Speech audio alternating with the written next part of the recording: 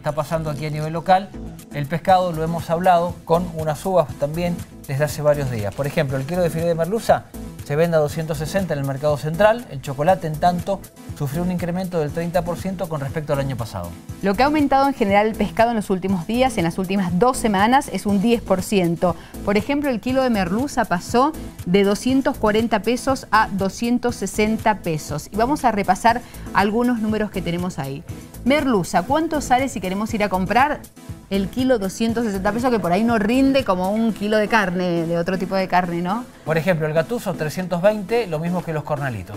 Raba 660 pesos el kilo. Lo más caro es el salmón. Mira el salmón, casi mil pesos. Sí, 980 pesos el kilo. Estos son precios del Mercado Central, que es un lugar de referencia aquí en la ciudad de Mendoza. Salmón blanco, 480 pesos. Hay algunos valores similares, por ejemplo, la pescadilla entera, la corvina entera, el atún entero y el besugo entero, 200 pesos el kilo. Es lo más económico que hay hoy por hoy en cuanto a pescado. Pero si por ejemplo quieren comer mariscos, los langostinos también, 900 pesos el kilo. Los langostinos y el salmón, lo más caro.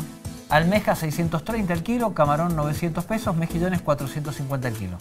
Y los berberechos 760 pesos y eh, canicama 380 pesos.